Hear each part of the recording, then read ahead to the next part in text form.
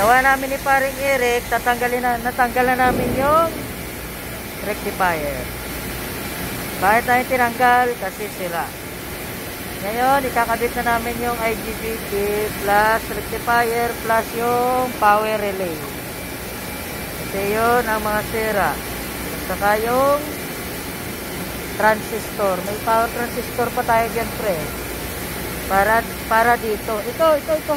Ilalim. Yan. Para dito yan. Ngayon, ang error ng Intramat na to na CDT ay ang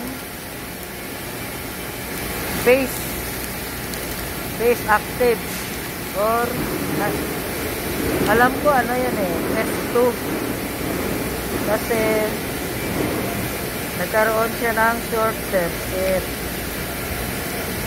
ngayon ang gagawin namin ayusin namin. Sana sa awa ng Diyos ay maayos din namin. Ito ay ang pangalawang indramat na naginawa namin. Ang isa tumatakbo na.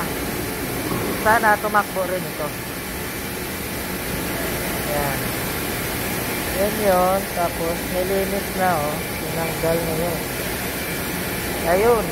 Ang short circuit dudugtungan pa to. Pre dugtungan mo muna to pre.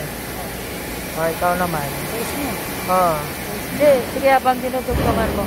Pero kunin mo yung tinsel blade para ano mo dito. Yan kinukuha na yung gamit. Para gagawin na namin hindi yung blade para ano mo para dumikit ng gusto yan. Yan. Gagawin na namin ni parang Eric.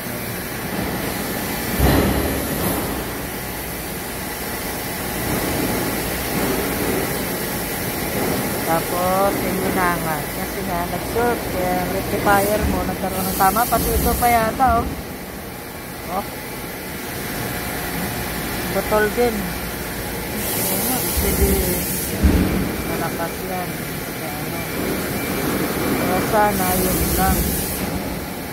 Tapos ito parang kumisil yata. Tingnan na lang yun. Yan yung ginagawa na namin. Sana magawa. Para kahit pa paano magkaroon ng income